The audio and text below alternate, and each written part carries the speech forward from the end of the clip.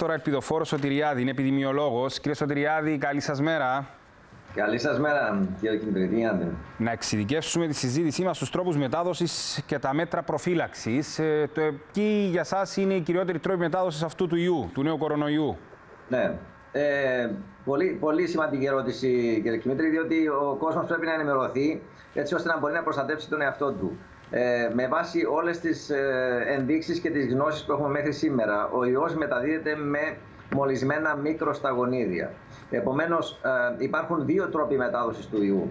Ο πρώτος τρόπος είναι η άμεση μετάδοση, άμεση μετάδοση όπως λέγεται, όπου ε, εάν κάποιος ε, είναι φορέας του ιού ή νοσεί από τον ιό και βύχει, φταρνίζεται, μιλάει γενικά με την εκπνοή του, εκπέμπει ε, μολυσμένα μικροσταγονίδια τα οποία δυνατόν να επιμολύνουν ε, τους βλενογόνους του προσώπου ενός άλλου ατόμου, δηλαδή τα μάτια, τη μύτη και το στόμα.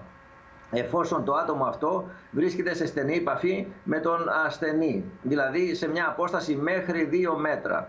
Άρα σε μια ακτίνα μέχρι 2 μέτρα ο ασθενής μπορεί να εκπέμψει μολυσμένα μικροσταγονίδια τα οποία να φτάσουν στα μάτια, στη μύτη και στο στόμα ενός άλλου ατόμου και να τον επιμολύνουν. Άρα, γι' αυτό φοράνε τις μάσκες όσοι είναι επιβεβαιωμένα κρούσματα. Ε, αυτό, ναι, αυτό, αυτός είναι ο άμεσος τρόπος και επομένως επειδή γίνεται πολλής λόγος για τις μάσκες και δεν αναφέρεται καθόλου μολυσμένα χέρια. Γι' αυτό και μιλάμε πάντοτε για το, για το συχνό πλήσιμο των χεριών. Δηλαδή, όταν κάποιο... Πείτε στον κόσμο να σας ακούσει τι πρέπει να έχει υπόψη. Ασφαλώς. Ευχαριστώ για την ερώτηση. Για ψυχαγωγία ή και για δουλειά στην Ελλάδα. Εσείς τι ναι. θα συμβουλεύατε τον κόσμο που μας παρακολουθεί, αν έχουν κόψει τα εισιτήριά τους να κάνουν το ταξίδι τους ή να προβληματιστούν; Ε, η, δικιά μου συμβουλή είναι ότι ο καθένας πρέπει να αξιολογεί τον κίνδυνο και από εκεί πέρα ε, ανάλογα με, το, με, τον, με την προσωπική του στάση απέναντι στον κίνδυνο να, να πράττει ε, κατάλληλα. Ε, υπάρχουν άνθρωποι οι οποίοι δεν θέλουν να πάρουν κανένα κίνδυνο στη ζωή τους και θέλουν να αισθάνονται εντελώς ε, ασφαλείς και 100% ασφαλείς αυτοί ενδεχομένως μπορεί να πούνε ότι εγώ δεν θέλω να πάρω ούτε μία στο εκατομμύριο ε, ρίσκο για να ταξιδέψω, θα μείνω στο σπίτι μου. Υπάρχουν Εσείς τι θα κάνατε; Εγώ προσωπικά θα ταξίδευα.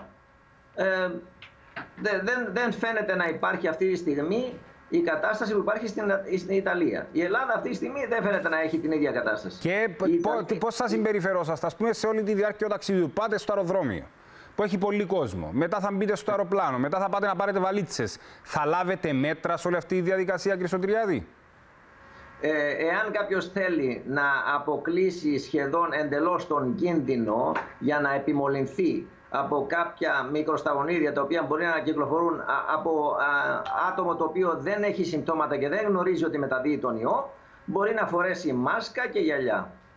Και, αυτή, ε, και να, να έχει υπόψη το ότι πρέπει να πλένει συχνά τα χέρια του και να μην, ε, να μην να, να, επειδή ασυνέστητα πολλές φορές φέρνουμε τα χέρια μας στο πρόσωπο να μην τρίβει τα μάτια του, να μην ε, ε, ε, φέρνει τα χέρια του στη μύτη, στο στόμα, έτσι ώστε να αποκλείσει και τον έμεσο τρόπο και τον άμεσο τρόπο. Μάλιστα. Άρα οι μάσκες τελικά δεν είναι μόνο για αυτούς που έχουν νοσήσει, αλλά προστατεύουν και τους υπόλοιπους. Γιατί κάποιος μπορεί να φέρει τον ιό να μην το γνωρίζει και άρα αν εσύ φοράς μάσκα θα προστατευτείς από τα σταγονίδια, για παράδειγμα, αυτού που έχει νοσήσει αλλά δεν το ξέρει. Ασφαλώς ασφαλώς προστατεύουν, αλλά επαναλαμβάνω, όχι μόνο μάσκα. Εάν ναι, είτε να και τα γιαγιά, σωστά, το βάλατε στην εξίσωση αυτό. Εάν θέλουμε να είμαστε ασφαλείς ε, για να προστατεύσουμε τον εαυτό μας από πιθανά μικροσταγονίδια από κάποιον άλλο που νοσεί, τότε πρέπει να καλύψουμε και τα μάτια. Να είστε καλά κύριε Σωτηριάδη, ευχαριστούμε πάρα πολύ.